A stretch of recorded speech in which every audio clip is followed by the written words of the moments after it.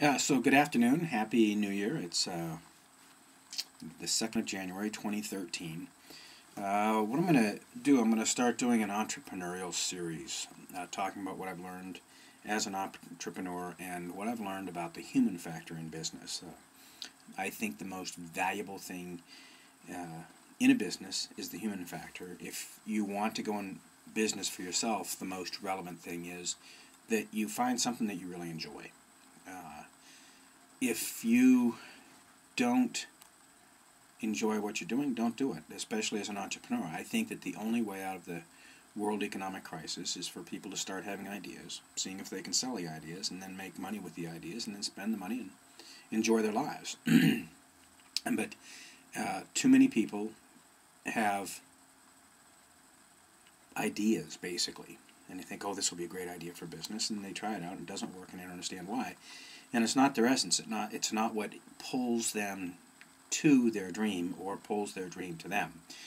As far as the basics of entrepreneurial uh, organizational stuff, I think Gerber is probably the best. I have not done his uh, coaching program, just to let you know.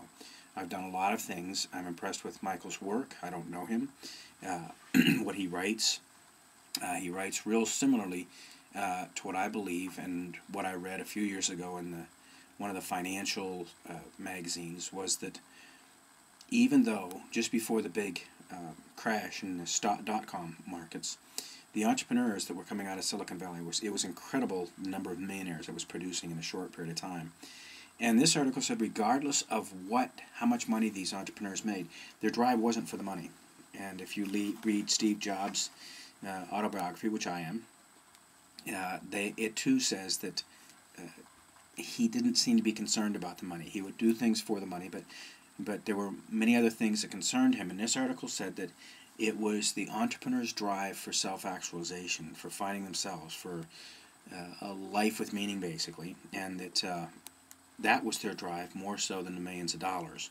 There was also a consultant who went in to work with people on how to handle their newfound wealth. Uh, if they become wealthy overnight, uh, but he basically said, uh, if you're an asshole before you have money, and by that he means, for me, most entrepreneurs are assholes. They have to be to live their dream. They have to say to people, look, this is the way it is. And a lot of people will say, well, he's such an asshole. But what he's talking about is the is the mean, vindictive people that uh, just hurt people with their assholeness. And he said, if you're an asshole before you start your business, and if you're an asshole before you become a millionaire, you'll be a bigger one. And he screens his clients and does not deal with the assholes because he said it's not worth it. They're they've just gotten money just to be mean and, and continue on. They're in culture. They're so steeped in their enculturation that they believe that that's who they are, and they continue in their um, that manner. So I'm going to look at uh, the most relevant thing I think in an entrepreneurial endeavor.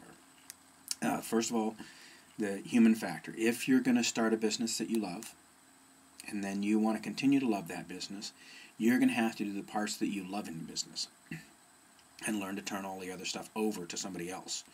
If you are not willing to have fun in your business, if that is not a motivation to you, then these series are not going to be interesting to you. You might as well shut them off because that's what I look at.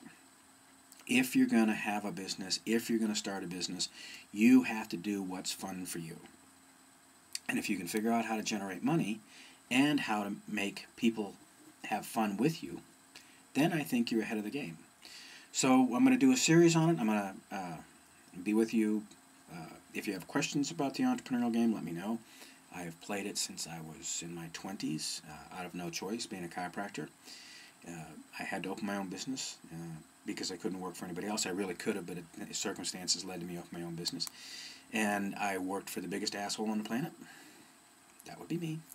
So I've got a lot of input. Uh, I think my next book is going to be Rule Number One: The Entrepreneur Has Fun. Because uh, if they don't, it's not worth doing the business. I don't think. www.micpeakperformance.com